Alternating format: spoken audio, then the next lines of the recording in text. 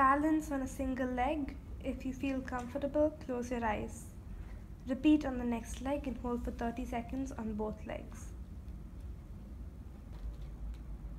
Hold a squat on the wall for 30 seconds.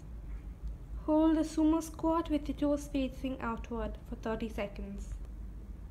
Hold on Ironman for 30 seconds. Hold on a side plank for 30 seconds. Repeat on the next side for 30 seconds.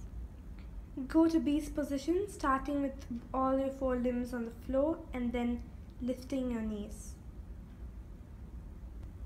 Raising your hip upward while facing upward. Hold for 30 seconds.